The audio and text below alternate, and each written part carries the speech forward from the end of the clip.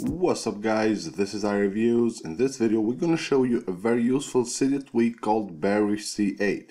This tweak will allow you to launch apps from your lock screen. You can see right here if I go to my lock screen I have all these apps right here. You can add up to 8 apps on your lock screen and you can easily launch any of them by simply dragging the icon of the app right here at the bottom of your device. You see here you will get this little animation.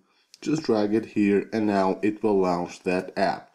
Now if we go to the settings of this tweak, here we have an enable button, then we have here a respring button for all the changes to take effect. Then lower here have app shortcuts. If you go here you have up to 8 shortcuts. You can add any of your apps, just go to one of them and choose the app that you want to see on your lock screen. Then if we go back you have auto unlock. You enable this if you have a touch ID on your device so when you drag the app down on your screen you just slide the finger to the touch ID and it will unlock your device. Then lower here you can also enable or disable badges. You enable them right here. Then you can also set the transparency of the badges with the slider right here.